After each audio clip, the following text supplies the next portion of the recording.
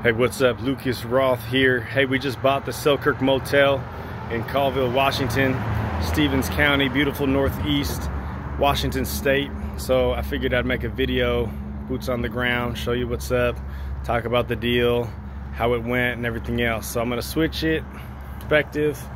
So here's my hotel room where I've been the last few days, room number 20. Um, this motel consists of two buildings. That one on the right uh, was built in 1970. This one was built in the 50s. And this this um, motel, the Selkirk Motel, has a total of 18 rooms. This right here um, is Main Street, Highway 395. Uh, and yeah, man, it's beautiful out here.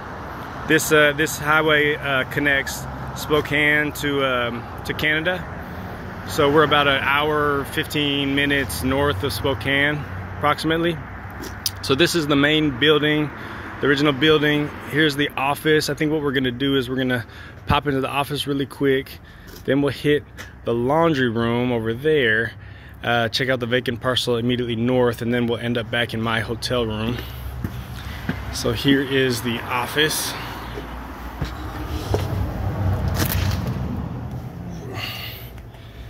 Nice and clean, nice and warm in here warmed up a bit. It was like 20 degrees this morning.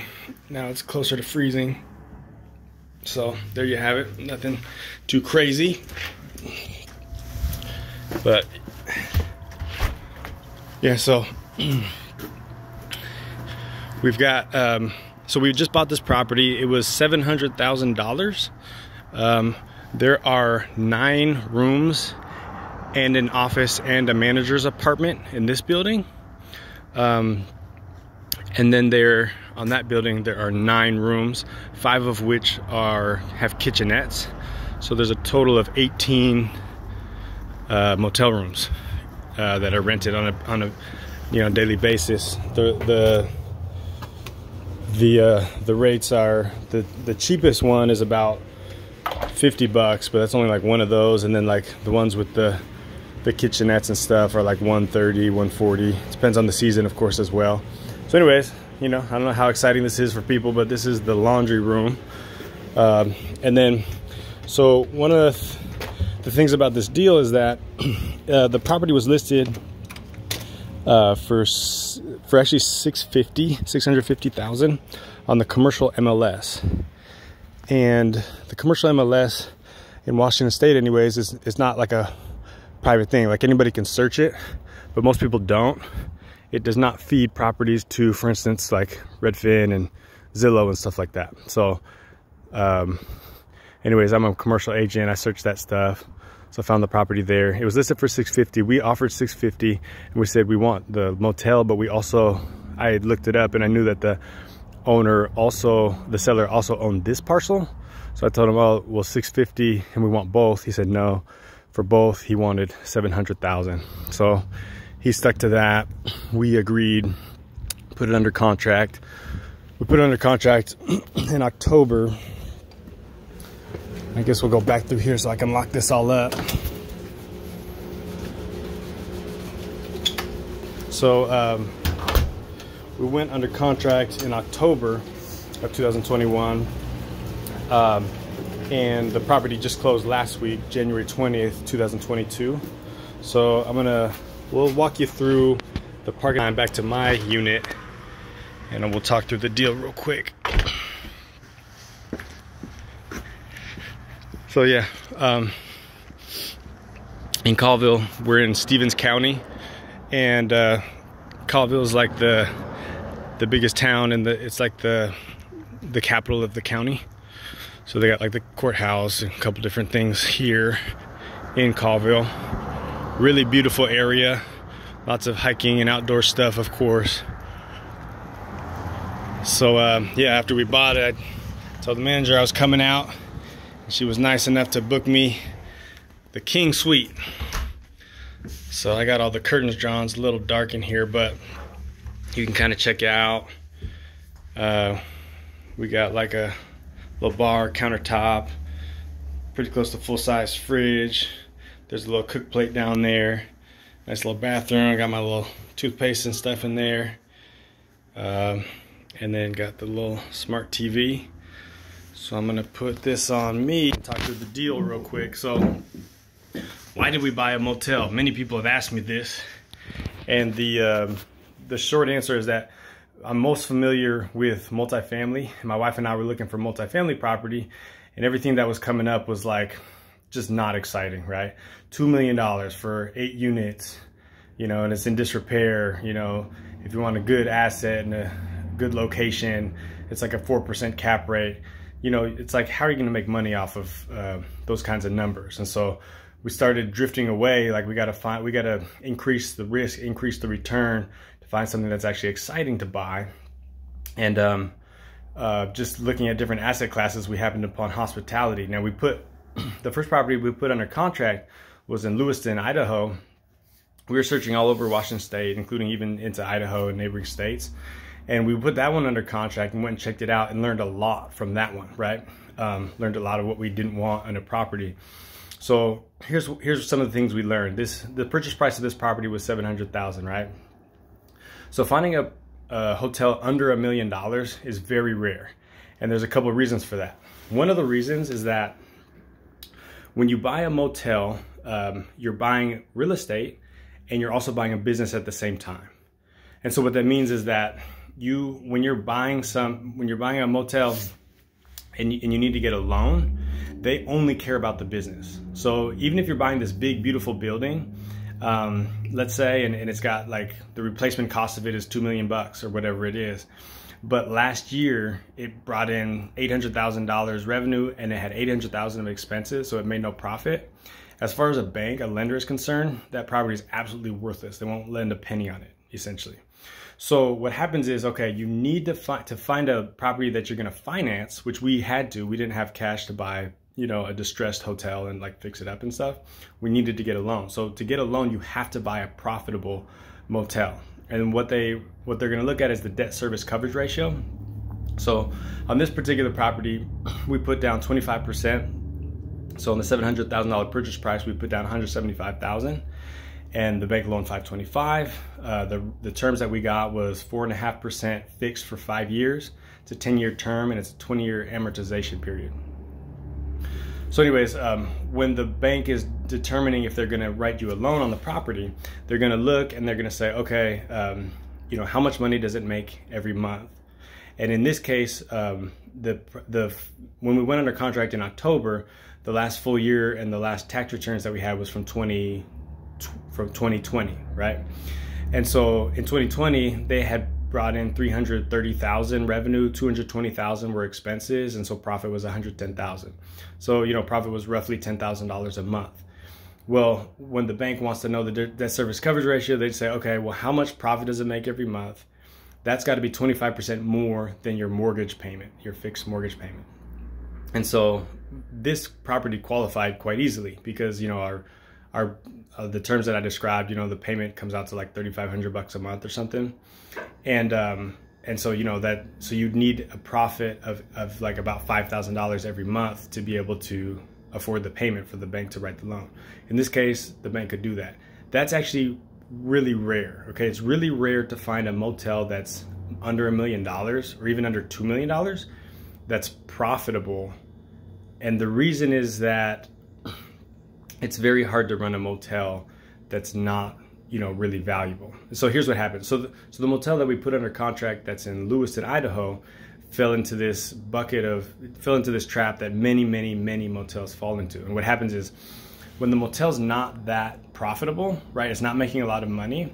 Then the first thing to go is the daily cleanings, right? And the keeping up of the of the property and getting into the rooms every day and making sure that the the guests aren't making a mess and trashing the rooms and stuff like that.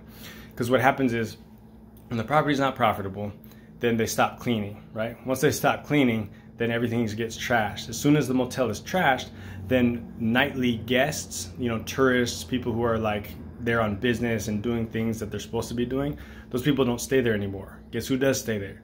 Semi-homeless people, right? People who can't, don't have any other place to go they don't have a job, they don't have a down payment, sorry, like a security deposit to get into a, a, an apartment. You know, they're they're in violent situations, things like that.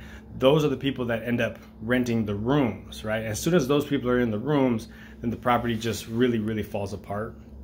And that's that's basically what happens. It's very rare to find a motel that's under a million bucks that's run as a motel that the units are clean, the rooms are cleaned every night, every day. You know, like they have guests check in and check out and not stay for like weeks and months at a time. It's very very rare.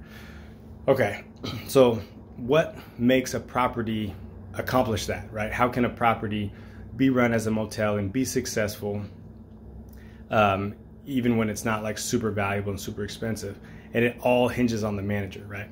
So the first, um, the first thing that we did was we were like, okay, well, if this motel is profitable, like they made a hundred, hundred ten thousand dollars last year in profit, that's really good. So like, why are they selling? So after you know some conversations and questions and things like, things like that, it becomes apparent. Okay, what happened was the reason why the motel is run so well is because of the manager that's in place.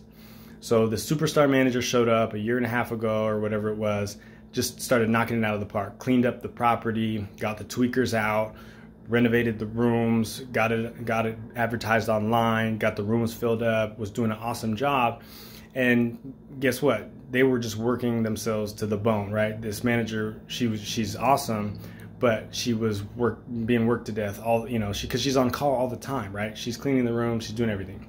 Okay, so she told the the the owner, the previous owner, I'm not doing this anymore. So you can either sell it or I'm just gonna leave. I'm not gonna stay here. So he's like, all right, I'm going to sell it because he knows that he's not going to be able to recreate another manager like that. It's very, very rare to find somebody who can work that way and, and turn a property around and take charge of a property.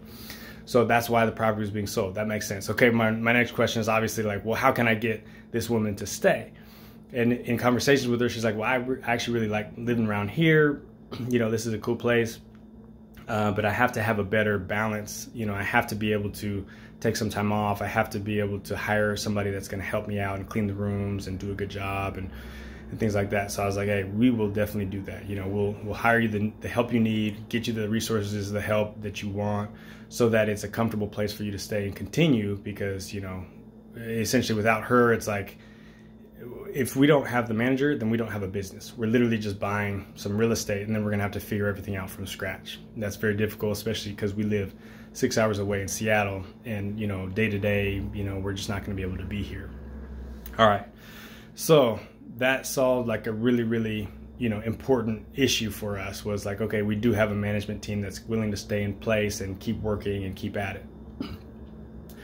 I guess to switch back to like financing and things like that. Um, so the the 75% loan to value that we got, that's typical, right? There, in theory, you can get a 15% down SBA loan uh, because you, uh, if you're buying a motel, you are an owner operator. So you're like buying the real estate, but you're also running the business yourself. And in that case, it, technically you can do 15% down SBA loans. But in reality, what's going to happen is that the, the lenders will almost always, at least in our case, what happened, and I think is very, very common, they just like say, okay, well, yeah, maybe you can do 15% down, maybe we'll get you an SBA loan. But then when it comes down to it, they're like, oh yeah, no, like it's not going to work. Uh, we need 25% down on this asset. That's that's got to be your down payment. One really fun thing is that when you when you get a commercial uh, property like this, there's a couple things that are really, really expensive. One of those is, is, the appraisal. So I'm used to like doing houses in, in Seattle. We do seven hundred thousand dollar houses. It's like popcorn. It's whatever. It's not a big deal. And the appraisals are super expensive, and they want eight hundred to a th- sometimes a thousand dollars to do an appraisal of a house. So I'm like, okay, it's a seven hundred thousand dollar asset. You know, yeah, it's commercial. You have to maybe do an income valuation or something. Maybe it's a little bit more. Oh, it was way more. The we went under contract in October, and um, you know the um, the the loan officer she calls me, and she you know a few weeks into it she's like, oh, and a commercial appraiser won't even deliver an appraisal until the very end of December. So when we wrote the contract, it was a 30 day feasibility and a 60 day close. So we were going to go on, we went under contract October. We we're supposed to wrap up our feasibility November, close like early mid December. She's like, well, they're not even going to get an appraisal back until the very end of December and it's going to cost $7,500 for an appraisal, which just blows my mind. But yeah, that's what they had. We had other bids that were even higher than that. So we took the bid that was 7,500 to do an appraisal of a $700,000 asset. So it is what it is. Like there was no other way to get a loan without the appraisal. We had to pay seventy five hundred dollars for the appraisal. Um, uh, so when to go back to feasibility really quick, that's kind of like an important thing. Is like, so you write the contract and you have feasibility period, right? Feasibility is kind of like a catch-all. You can check whatever you want to check. At the end of the day, you got to verify two different things. Okay, the first thing is you got to identify, you got to evaluate, check the condition of the property, the physical improvements of the property, right? So that's an inspection. We paid, uh, it was about $1,500 for an inspector to be here all day long, write up a, a big report. You know, he's up on the roof, he's in the crawl space, all kind of stuff. He found a lot of stuff, obviously, right? When you buy a commercial property that's like, you know, 70 years old or whatever, there's going to be issues. So we had some roof things, lots of old windows, some plumbing and electrical issues. Uh, in the original building, it was built with a slab foundation that, you know, decades later they excavated underneath it so that they could access plumbing and make plumbing repairs and things like that. So all of these kinds of like, you know, oddities and, you know, uncomfortable things will pop up. But at the end of the day, you know, in the scheme of things, you just got to make your judgment call. Like, okay, is the is it going to be worth the investment? Do I have the capital behind me to buy it and then get it to an, uh, a state that's going to make sense and be sustainable in the long term? And we, we decided we did. So feasibility first is physical feasibility. The second is the business feasibility, right? So again, you're not just buying real estate, but you're also buying a business. So we had to ask over and over and over for the financial information, you know, and a lot of times when you're buying a commercial property, um, it, they just don't have good records, or they'll or they'll cook the books. You know, so they'll say, they'll say like, oh yeah, well our tax returns show a loss, but really it makes this much money. That all that stuff is like super shady to me, right? So you don't want to rely on that. In this instance, for some reason they were really really guarded. They didn't want to share the financial information. We had to ask over and over, but ultimately they did give us the tax returns that showed what they were reporting and what they're paying on. That's what I go by, right? So I don't really like to hear this nonsense about like, oh yeah, it, it, uh, the tax for tax reasons we show a loss, but in reality it makes money. It's like that's just too much. So um, so they, they they showed the the tax returns. We were able to look through that, get to the bottom of all that, and, and it all checked out. Right? It, it didn't make money at all in previous years, but then once they got this new manager in place, turned it all the way around, made it profitable. Uh, one of the things is when somebody's selling their property and it's a commercial property, they know that the value of the property is basically driven by the profitability. So they'll do every short term thing that they can do to drive profitability up, even if it's at the expense of the long term health of the asset. So for instance, like, you know, if if if somebody's selling their motel and the heater keeps breaking over and over, they'll just like put a band-aid on it and just get it running, just get it running over and over and over instead of actually replacing it, you know, and and just you know extrapolate that over the over the whole building you know. There's going to be deferred maintenance in all likelihood and certainly we found a bunch of things and i'm sure we'll find more now that we've actually closed it. So anyways yeah that's that's the feasibility of it. That's more or less the the, the whole story. Um, at the end of the day like our, our plan is um, we're gonna you know basically hire more help invest into the property. So we're to make the repairs that are, are, required to make it like comfortable. So we're not chasing you know all kinds of like issues that come up over and over so get it to a prop to a point where it's like sustainable and comfortable to run and we have enough staffing where people can like take days off and and like have a healthy approach to work and stuff like that and then you know at, at that point um, we, we feel like it should be even more profitable if we make the investments into the property and then we're to uh, possibly even build more more units onto that vacant lot that's immediately next door. So right now the right now the property is 18 motel rooms, and um, I, have already talked to the the city you know planning department, and they've given me like a uh, pre-approval you could say of like yeah I can build another 18 rooms on the vacant lot next door. So the reason why we would do that is because basically the the more rooms you have the more efficient your operation is right because if you have eight rooms or 18 rooms or 36 rooms you need a manager right you need somebody on site from the morning until the late evening and so you might as well have more units and and be able to manage them more efficiently right it's easier to staff and it's easier to run those those kinds of units so I'm sure I'm forgetting like a million other things that happen. Oh, one one fun thing is um, insurance. So again, like I had this mindset of like, oh, you know, we bought a bunch of multifamily and and uh, single family homes and stuff like that. Insurance is never that big a deal. Well, for this property, uh, to get um, insurance for one year is eleven thousand five hundred dollars. So that's the expense, insurance expense for one year to to insure the the property. So all in all, um, we can we can once we do some repairs, like switch out some electric panels and things like that, we should be able to reduce that to about 8,000, 8,500, something like that. But ultimately, yeah, that's that's the kind of the ins and the outs. I think a 20 minute video on buying a motel is probably sufficient for now.